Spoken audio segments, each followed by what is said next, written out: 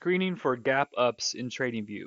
So you go to the homepage, click Screeners, uh, Stock Screener, or whichever other one you're using, like Crypto.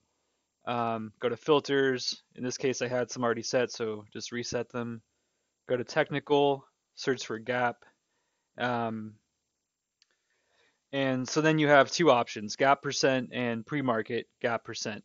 So a gap up is um, when the price has a gap from the closing price of the previous day, the previous trading day, whichever that was, um, to the opening of the next trading day. So, for example, if a stock um, went up 5% overnight, then it has a gap up of 5%. Um, and a pre-market gap is the same thing except it starts um, from when the pre-market trading starts. Um, so the gap would be from the close of the last trading day to the start of the pre-market trading.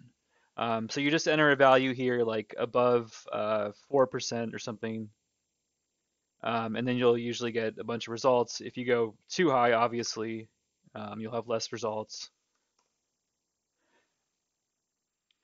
So this will let you screen for stocks that are um, going up quite a bit in a short period of time um, and to just filter through those. And usually you'll want to apply other um, filters too, but uh, that highly depends on what exactly you're uh, looking for.